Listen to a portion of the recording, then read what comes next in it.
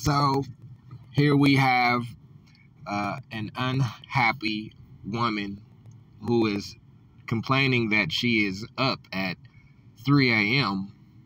and she has a question. Why is why is she single? Why are we single? Well, you're single because your boobs are out, you have on your underwear broadcasting to the world, and instead of you saying, you know, none of you being single has anything to do with you uh, attracting bad men or maybe you not being attractive to good men. You see, it goes both ways.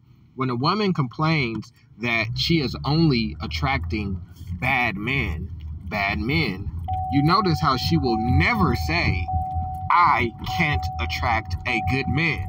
She'll only highlight that bad men are constantly approaching her. She'll never say, what am I doing to attract bad men? Or why don't men of higher quality, um, why aren't they attracted to me? She, in her mind, is already the victim, and everything she's doing is right, and everything these men doing are wrong. I'll agree with her. There are probably bad men that are approaching her because why would a good man be attracted to a woman that gets on social media with half of her breasts showing and in her panties. Why? Why would a good man want that? Why? Why would a good man that has assets and has things to lose intertwine himself with this kind of woman? He wouldn't. He wouldn't be attracted to her. He wouldn't want to be in the same room as her. So you're answering your own question. You're single because of you. It's almost 3 a.m. I'm still up. And why Yeah. am I up? Because I got a question.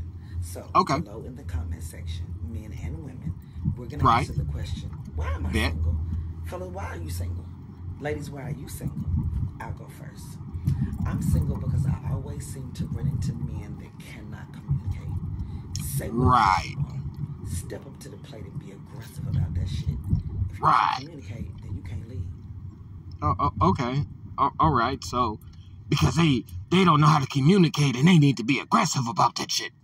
Okay. So, what if he aggressively say, "I only want you for sex and nothing else because I think you're a thot and probably easy to smash"? How would you feel? Oh, okay. My bad.